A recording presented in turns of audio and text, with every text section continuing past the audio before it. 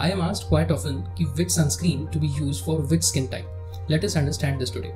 There are various types of sunscreens available such as aqua gel, matte finish sunscreens, lotions and various other sunscreens. So for oily and acne prone skin, you should be using aqua gel sunscreens or water based sunscreens. For dry skin types, you should be using sunscreen lotions. For extremely dry skin types, you should be using a moisturizer before applying a sunscreen lotion. For a combination skin type, any of these sunscreens is good enough.